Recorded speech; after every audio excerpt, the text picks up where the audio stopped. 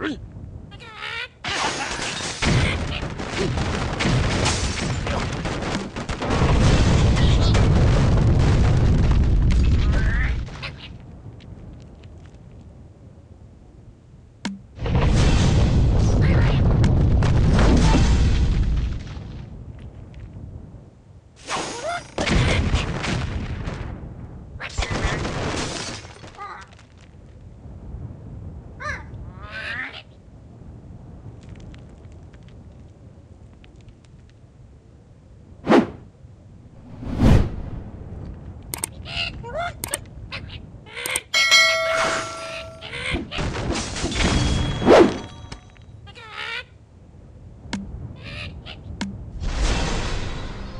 Look at it!